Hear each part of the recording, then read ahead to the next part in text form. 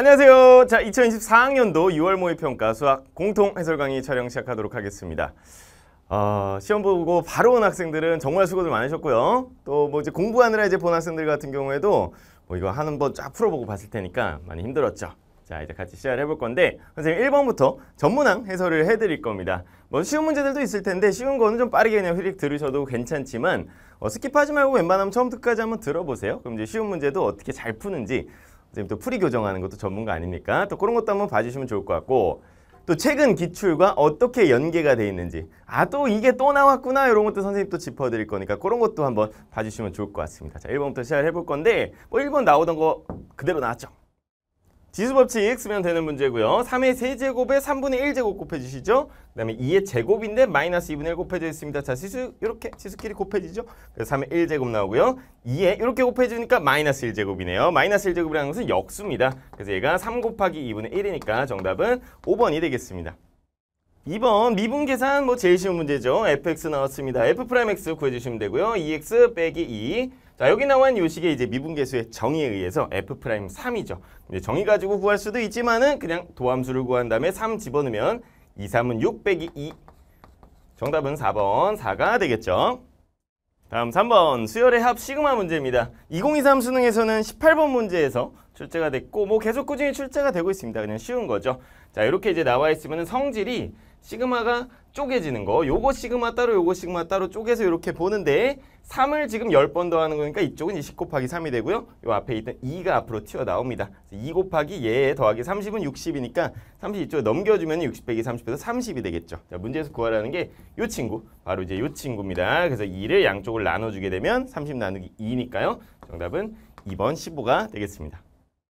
4번 함수의 연속의 정의를 묻는 그런 문제가 나왔네요. 자, 연속의 정의가요. 함수 fx가 x equal a에서 연속이다라는 것은 a에서의 함수값 fa와 x가 a로 갈 때의 limit, 이 극한값이죠. 얘네 두 개가 같은 것을 연속이라고 합니다. 근데 실수 전체 집합에서 연속이라고 했으니까 1에서도 당연히 연속이죠. 왼쪽에 있는 얘가 지금 극한값이고요. 연속이기 때문에 f1과 같습니다. 이 친구하고요. 요거랑 같은 거니까 넘겨주게 되면은 이 f1이 4라는 거고요. f1은 2. 정답은 2번이 되겠죠.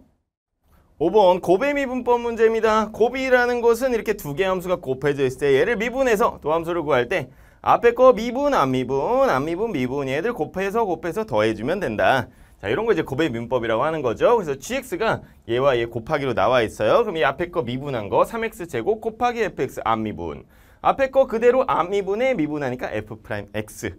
자, 구하라는 것은 G'1이에요. 자, 1 집어넣으면 G'1은 3 곱하기 F1, 그 다음에 1 들어가니까 1 더하기 1에서 2 곱하기 F'1. 자, 여기서 fx 구하는 거 아니죠? 그냥 요 두개 조건이 나와 있으니까 F1은 2, F'1은 3이다. 그럼 여기 들어가니까 3이 6 더하기 2, 3은 6, 12구나. 자, 정답은 1번이 되겠죠. 다음 6번. 자, 삼각함수의 정의 그대로 이용하는 문제예요. 선생님 맨날 강조하는 거 있어요.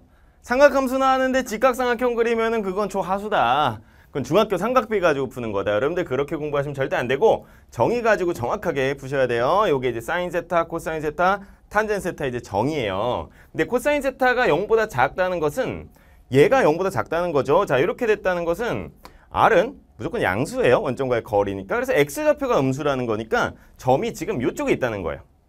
2, 4분면 3, 4분면 이쪽 어딘가에 있다는 겁니다. 자, 그런데 사인 이렇게 나와 있어요. 그러면은 일단은 사인의 마이너스 세타가 마이너스 사인 세타다. 자, 요거 아셔야 됩니다. 사인 세타는 원점 대칭인 함수라서 요거랑 요거랑 그냥 같은 건데 아주 기초 개념이죠. 자, 그런데 이 코사인이랑 사인 나왔으니까 뭐 넘겨가지고 탄젠트로 만든다 이렇게 갈 수도 있지만 그냥 정이 있는 그대로 식을 써보세요. 자, 사인 세타가 r분의 y야. 근데 마이너스가 붙어있죠. 그럼 마이너스 r분의 y는 7분의 1 곱하기 r분의 x 자 이렇게 되는 겁니다. 자 그러면 양변 요거랑 요거랑 이렇게 지워놓고 보면은 y좌표를 어떻게 쓸 수 있냐면 마이너스 7분의 1의 x 이렇게 쓸 수 있는 거예요. 근데 삼각함수는 어차피 얘네들 사이의 비율이기 때문에 얘가 뭐 1이든 2든 상관이 없어요. 비율만 같으면 돼. 그럼 어떻게 하는 게 숫자가 제일 쉬울 것 같냐면 x좌표가 지금 음수라고 했잖아 얘가. 여기다 이제 마이너스 집어넣어야 되는데 분수 나오게 하는 것보다는 x를 마이너스 7이라고 하게 되면 y가 플러스 1인 거지. 그래서 마이너스 7,1 점을 찍어주는 겁니다. 마이너스 7,1 이렇게 점을 찍어주는 거예요. 자, 이렇게 직각삼각형 그리는 게 아니고 그냥 점 찍는 거예요. 그럼 x좌표 마이너스 7이죠? y좌표는 1입니다. 자, 그럼 요것과 원점과의 거리는 피타고라스 정리 써주시면 되는 거예요. 루트에 77에 49, 7의 제곱이고요. 1의 제곱 이렇게 하게 되면 루트 50이고 얘는 5 루트 2가 됩니다. 25 곱하기 2니까. 그래서 요 거리 얘가 지금 5 루트 2가 되는 거예요. 그래서 선생님이 보통 이제 이런 식으로 표현을 하죠. 요 점에 대해서 이게 마이너스 7, 1, r 5 루트 2. 얘가 지금 이제 x, y, r 이런 식으로 그냥 이제 쓰시게 되면 이 세 개 가지고 비율 구하는 게 이제 삼각함수라 이거지. 끝난 거야. 세 개가 다 나왔잖아. 그러면 사인 세타 구하라고 했죠? 5 루트 2분의 y 요거 찾으시면 되는 거네. 5 루트 2분의 y 어 없어. 그냥 뭐 해주는 거야 지금 이거? 유리화 시켜주는 거네. 그쵸? 그래서 위아래에다가 루트 2 곱해주게 되면은 얘는 10이죠. 여기다 루트 2 곱하면 5 곱하기 2가 되면서 분자가 루트 2가 됩니다. 자 그래서 정답은 4번이 되겠습니다.